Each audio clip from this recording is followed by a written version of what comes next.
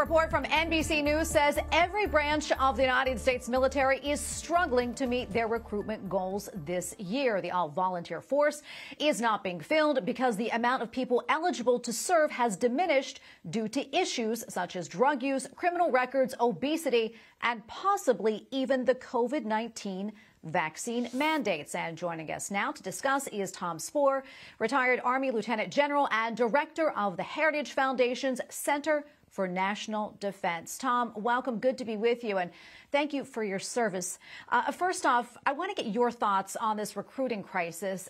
How do you think we got to this point, and how serious is it?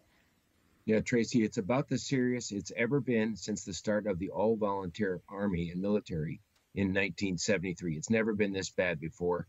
And frankly, we have seen this coming for a while, but I think the Pentagon has really ignored the, the warning signs. In 2018, the Army missed its recruiting goals.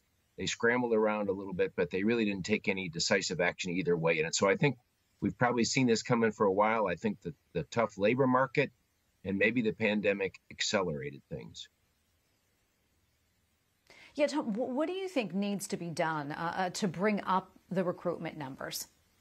Yeah, Tracy, a number of different things. But the, I think the first in my mind is that we need to reconnect America with its military. I think you can go through wide uh, swatches of the United States, and people though they don't even know what the military does anymore. They don't know what the lifestyle is like. Uh, there's been a recent survey of of young people that said that 50% of them don't even know that you can have a recreation or a hobby uh, when you're in the army. And so that you know that speaks to me that they really don't understand uh, the United States military anymore, and we need to get military people back in some of these states like the Dakotas, New Hampshire, Vermont, in order to reacquaint them with their military. Yeah, absolutely.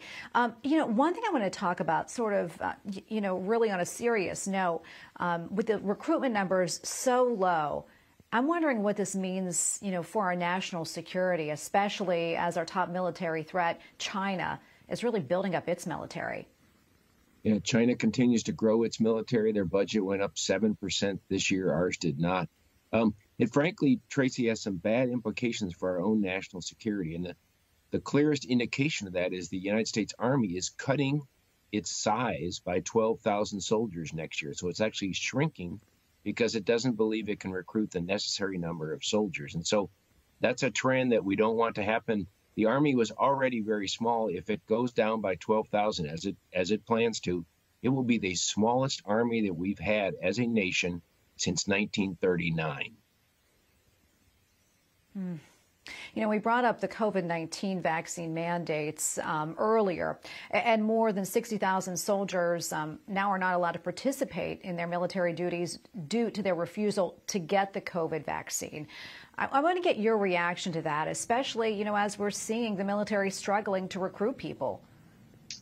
Yeah, I have mixed feelings about it, Tracy. Coming up, I spent 36 years in the Army. I had to get innumerable numbers of mandatory vaccines. I think the number is 17 uh, vaccines, you know, not some of them annual, but some of them less frequent. And so I'm, as a soldier, I was used to getting mandatory vaccines, but I also can see uh, what's happening as a result of this COVID, COVID vaccine vaccine mandate. You know, there's statistics that say that young people, uh, 33% of them haven't gotten the COVID vaccine and they have no plans to get one. And so as they as recruiters trying to recruit people, they tell them, "Hey, you come in the military, you're going to need to take the COVID max vaccine," and that turns off a significant portion of people. We don't know that number, but it has to be big. Yeah, and according to this NBC uh, report, um, they're saying that of Americans who are ages 17 to 24 years old who are eligible to serve, that only just 9% had any interest in joining the military. Um, such a low number, I think the lowest since 2007. So I'm curious if you have any idea why there's such a maybe disinterest or, you know, not an interest in joining the military. Yeah, it's a number of things, uh, different things, Tracy. One of them is the very strong labor market. You know, I don't know where uh, you work, but where I work, there's companies paying 15 18 dollars an hour to young people you know that are still in high school to do jobs. And, and that's fairly extraordinary and that the army and the military has to compete with that. So that's one the strong labor market. But then there's also this belief, and I, uh, that the military is becoming increasingly politicized, and and you get that from both sides. The left, you know, views the military sometimes as a breeding ground for extremism or racism, and then the right views the military as woke and a social experiment. And so the military is in a very difficult position right now, kind of being battered uh, by both sides. And young people are very attuned to this.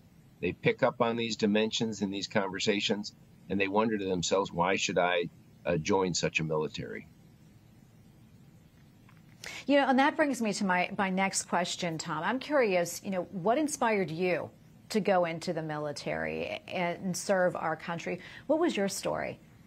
Yeah, so I was in college. I went to the uh, ROTC program. I really didn't have a lot of other options at the time I graduated from college. So I said, let's give the Army a try. Uh, so uh, I didn't know much about it.